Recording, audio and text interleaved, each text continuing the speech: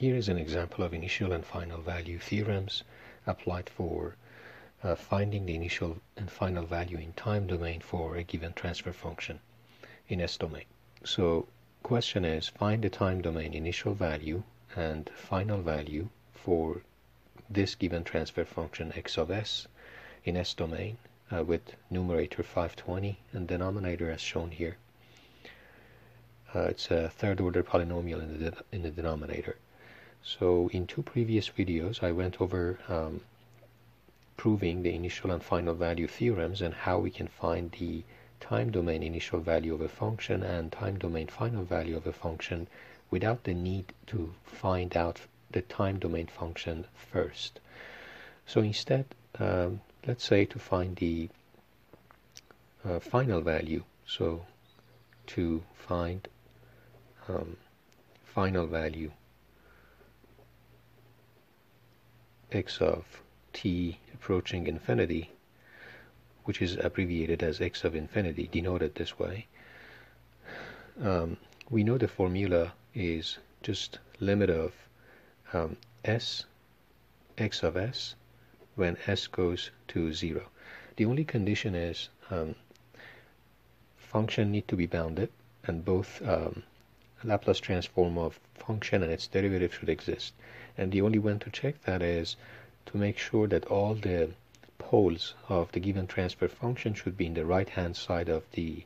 uh, S domain S plane.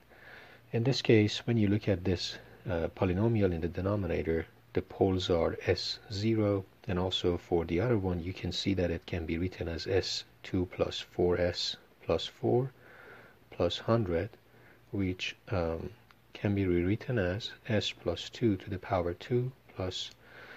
uh, j minus j 10 to the 2 which result in uh, s plus 2 um, minus gen j10 s plus 2 plus j10 this means the poles are minus 2 plus minus j10 and uh, this minus 2 indicate that the remaining uh, complex conjugate poles are located on the left hand side of S-plane. So in this case, uh, we can apply this, this theorem is valid uh, because of the fact that the poles on left hand side of the S domain function is bounded um, and we can find x infinity. In this case, x at time infinity is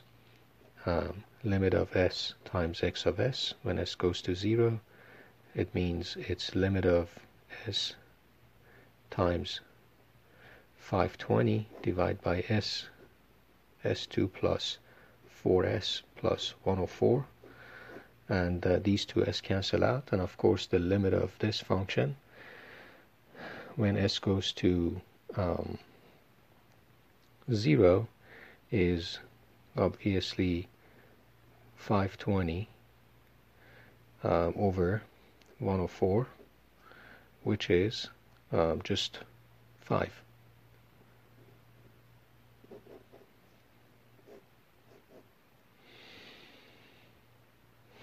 okay now for initial value so to find uh, the initial value Okay, so this was to find final value and to find initial value, same argument, meaning that both uh, S-domain Laplace transform of the function and its derivative should exist, and also at the same time um, to avoid having any impulse at time zero, to avoid having a Dirac delta at time zero for time domain function, we need to make sure that the degree of the polynomial in the denominator is higher than the degree of polynomial in the numerator. In this case, there is the third order polynomial in the denominator and zeroth order polynomial in the numerator, which satisfied the condition that was discussed in previous video. So, therefore, because the condition is satisfied, uh, the initial value theorem holds. So, x of t equal to 0. This is time domain function, by the way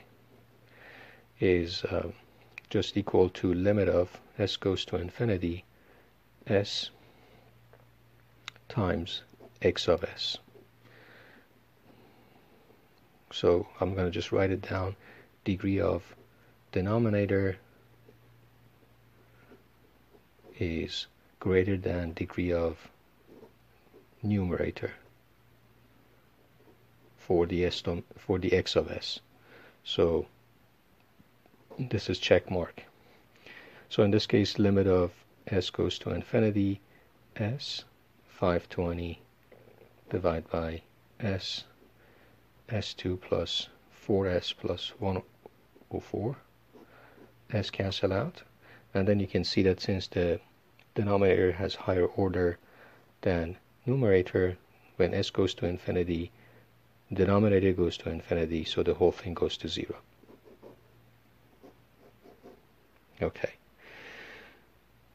if you're interested to learn more about how to prove the initial and final values and to see um, what are the important things to check to make sure you can apply them for a given S-domain function, please um, watch the two other videos that I uploaded before. Thank you.